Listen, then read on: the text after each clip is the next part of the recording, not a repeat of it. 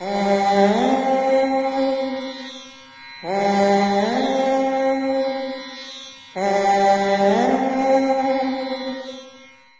నమస్కారం. ఈరోజు మనం ఇరవై ఒకటి ఆరు రెండు వేల ఇరవై ఆదివారం రోజు ఉన్నటువంటి పంచాంగ వివరణ గురించి తెలుసుకుందాం.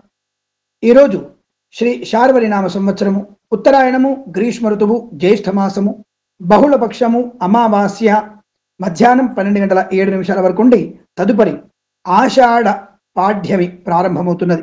మృగశిర నక్షత్రం మధ్యాహ్నం ఒంటి గంట వరకు ఉండి తదుపరి ఆరుద్ర నక్షత్రం ప్రారంభమవుతున్నది. వర్జము రాత్రి తొమ్మిది గంటల ముప్పై మూడు నిమిషాల నుంచి పదకొండు గంటల పదకొండు నిమిషాల వరకు.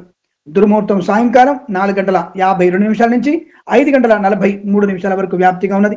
అమృత ఘడియలు ఈ రోజు రాత్రి అనగా రేపు తెల్లవారుజామున మూడు గంటల పదహారు నిమిషాల నుంచి నాలుగు గంటల యాభై నాలుగు నిమిషాల వరకు వ్యాప్తిగా ఉన్నది.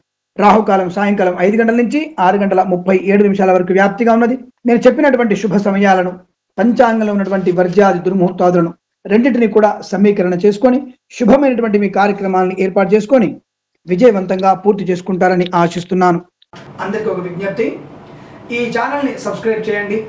పది మందికి ఉపయోగపడేటువంటి అమూల్యమైనటువంటి సమాచారం ఇందులో ఉంటుంది. దయచేసి ఇది పది మందికి చేరడం వల్ల మంచి స్వప్రయోజనము అందరి వ్యక్తులను కూడా ఆనందమైన సమయాన్ని కేటాయించుకోవడము శుభమైనటువంటి పరంపరలో ముందుకు ప్రయాణం చేయడం జరుగుతోంది. కాబట్టి దయచేసి ఇది పది మందితో షేర్ చేసుకునే ప్రయత్నం చేయండి. ఇందులో ఏవైనా లోటుపాట్లు ఉన్నట్టయితే తప్పకుండా నాకు కామెంట్ చేయండి. దానివల్ల నేను కూడా నా యొక్క ఏదైనా పొరపాటుని సర్దిద్దుకునే ప్రయత్నాన్ని తప్పకుండా చేస్తానన్న విషయాన్ని ఒకసారి గుర్తు చేసుకోండి. దాదాపుగా మళ్ళీ మళ్ళీ మిమ్మల్ని రిక్వెస్ట్ చేస్తున్నాను.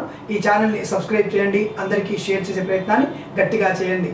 స్వస్తి ప్రజాభ్య పరిపాలయంతాం. న్యాయేన మార్గేణ మహిమహేష గోబ్రాహ్మణేభ్య శుభమస్తు నిత్యం. లోకా సమస్త సుఖినో భవంతు.